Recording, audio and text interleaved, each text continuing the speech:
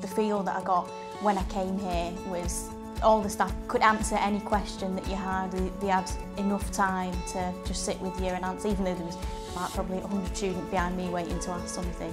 They just seemed to be like, well, we'll take your time with you, answer it. And just the course seemed really structured the way it was.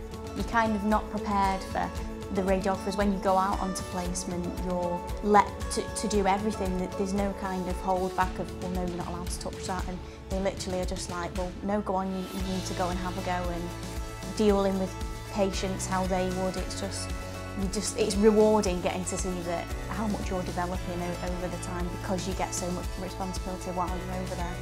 I think I've got the best placement, but then everybody seems to think that. We've got two x-ray rooms, um, a dental scanner, CT room, all the fountains that you can use. It's just to get a feel of it before you go out onto placement because that's where you do like most of your learning of how to do everything. But it's the stuff that they have here is and it's real to what is on placement. It's not like it's like a dummy version and then you'll relearn properly. So you do really learn when you're in the skills labs as well.